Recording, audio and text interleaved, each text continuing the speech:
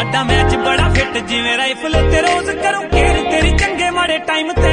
ਤੇਰਾ ਐਕਸ ਤੇ ਹੋਮੀ ਜਿਹੜੇ ਸੜਦੇ ਨੇ, ਸਾਡੇ ਕੋਲ ਵੇਖੀ ਫਿੱਟ ਪੈਂਦੇ ਕਿਵੇਂ ਰਾਈਮ ਤੇ। ਬਰੀ ਕਰੀ ਨਾ ਤੂੰ